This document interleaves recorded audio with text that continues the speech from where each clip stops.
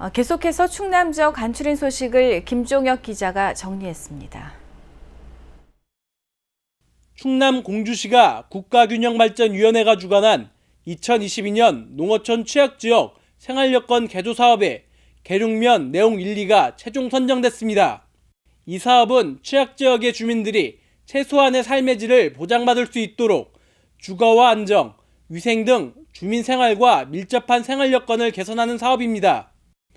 이번에 선정된 계룡면 내용 1, 2에 2025년까지 4년 동안 지방 상수도 공급과 슬레이트 지분 개량 등을 추진할 예정입니다. 충남 논산시가 구독형 전자자료 서비스를 운영합니다. 구독형 전자자료 서비스는 전자책, 오디오북의 형태로 제공되며 5만 8천여 종의 인기 도서를 다수가 제한 없이 이용할 수 있습니다.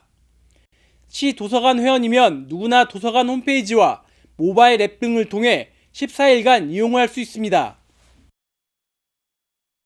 충남 계룡시가 관내 경유 차량 소유자를 대상으로 2022년 일기분 환경 개선 부담금 1,781건을 부과했습니다.